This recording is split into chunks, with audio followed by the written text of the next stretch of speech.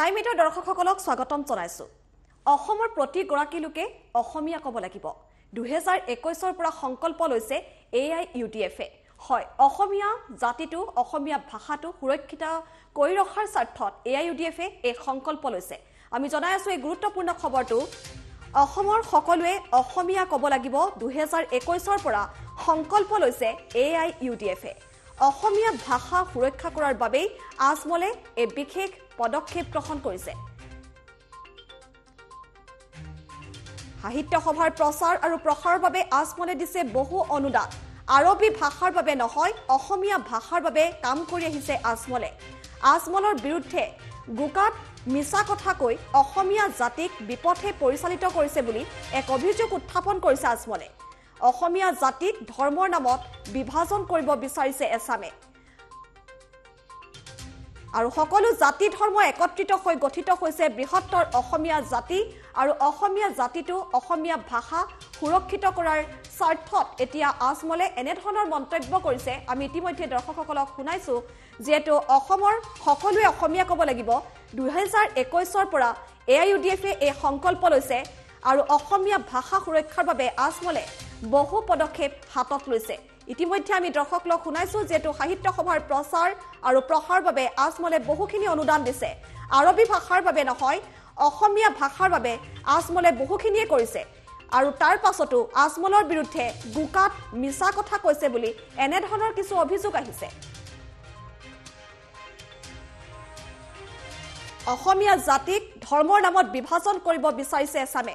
সকলো জাতি ধৰ্ম একত্ৰিত হৈ গঠিত হৈছে বৃহত্তৰ অসমীয়া জাতি আৰু অসমীয়া জাতি ভাষাৰ স্বাৰ্থত বিশেষ ভূমিকা গ্ৰহণ কৰি আহিছিল আজমলে আৰু আজমল ফাউণ্ডেশ্যনৰ নামত দেখিবলৈ পোৱা গৈছিল বিভিন্ন সময়ত অভিযোগ উত্থাপন হৈ আহিছিল। সন্ত্ৰাসবাদীৰ পৰা ধন আহে বিদেশৰ পৰা ধন আহে এনে কিছু অভিযোগ উত্থাপন হৈছিল আৰু শেহতীয়াকৈ আজমলে ইতিমধ্যে সকলোখিনি নস্বাত কৰিছিল। আৰু অসমীয়া জাতিটোক একত্ৰিত কৰাৰ সংকল্প লৈছে দুহেজাৰ একৈছৰ পৰা এ আই ইউ ডি এফে। আমি এই মুহূৰ্তত তেওঁলোকৰ ভাষ্য আগবঢ়াইছো।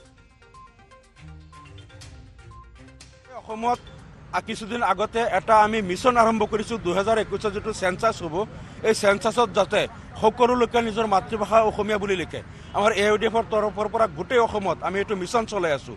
তাৰ লগে লগে অসম সাহিত্য সভাৰ প্ৰসাৰ প্ৰচাৰ প্ৰসাৰৰ কাৰণে আজমল চাহাবে লাখ লাখ টকা দান কৰিছে। যোৱা বছৰো অসম সাহিত্য সভাৰ মুখ্য কাৰ্যালয়ত তেখেত নিজে গৈছিলে তাত তেখেতে এটা কেইবাটাও অনুদান চল্লিছটা কম্পিউটাৰ আৰু বহুত কেইবা লাখ টকা অনুদান আগবঢ়াইছে। তেখেতক আজীৱন হিতৈষী পৰম সুহৃদ সদস্যৰ সন্মানীয় পদ দিয়া হৈছে। তেখেতে অসমীয়া ভাষাৰ কাৰণে অসমীয়া জাতিৰ কাৰণে যিমান কাম কৰি আছে আৰবী ভাষাৰ কাৰণে কোনোদিন তেখেতে কাম কৰা নাই। এইবিলাক বোকাত মিছা কথা আৰু এনেধৰণে বোকাত মিছা কথা বিভ্ৰান্তিমূলক কথাৰে তেওঁলোকে বৃহত্তৰ অসমীয়া জাতি ভাঙি থান থানবান কৰিব বিচাৰিছে অসমীয়া জাতিক ধৰ্মৰ নামত বিভাজন কৰিব বিচাৰিছে। আমি তাক গৰিহণা দিছি। আমি অসমত হিন্দু মুছলমান বৌদ্ধ খ্ৰীষ্টান শিখ জৈন সকলো ধৰ্মৰ লোকে সন্মিলিতভাৱে আমি অসমত বৃহত্তৰ অসমীয়া জাতি গঠন কৰি অসমক উন্নয়নৰ পথত আগুৱাই লৈ যোৱাৰ কাৰণে আমি কাম কৰিব লাগে এইটো আমি আহ্বান জনাইছোঁ। বৰ্তমান কাৰ বিৰুদ্ধে আন্দোলন হ'ব নালাগে আজমলৰ বিৰুদ্ধে হ'ব লাগে। কা হ'ল এটা ক'লা আইন যে ক'লা আইনৰ জৰিয়তে অসমত অসমীয়া জাতিক সংখ্যালঘু কৰিব বিচৰা হৈছে।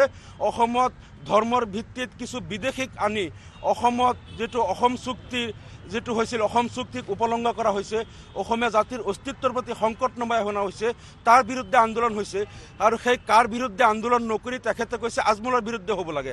আজমল এগৰাকী নিভাজ অসমীয়া। তেখেতে অসমীয়া জাতিৰ কাৰণে কাম কৰি আছে অসমীয়া ভাষা সংস্কৃতিৰ কাৰণে কাম কৰি আছে অসম সাহিত্য সভাত অৱদান আছে। তেখেতে অসমৰ জনসাধাৰণৰ কাৰণে ছাত্ৰ ছাত্ৰী দুখীয়া বিকলাংগ বিধৱা মহিলাসকলক সকাহ দি আছে। প্ৰাকৃতিক দুৰ্যোগ পীড়িত লোকক তেওঁ সকাহ দি আছে।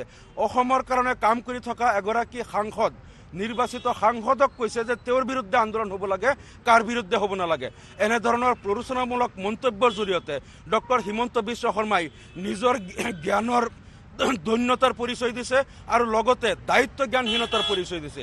আৰু তাৰ লগে লগে তেখেতে আৰু এটা কথা কৈছে যে আজমল ছুপাৰ ছিক্সটিৰ জৰিয়তে অসমত মানে তেওঁ কৈছে এটা বিশেষ জনগোষ্ঠীৰ লোকক মেডিকেল ইঞ্জিনিয়াৰিঙত আসনবিলাক কাঢ়ি লৈ গৈছে।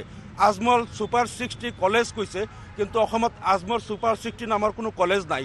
ইয়াত আজমল ছুপাৰ ফৰ্টিৰ নামত একাংশ মেধাৱী ছাত্ৰ ছাত্ৰীক বিনামূলীয়াকৈ পাঠদান দিয়াৰ এটা ব্যৱস্থা আজমল ফাউণ্ডেশ্যনে কৰে।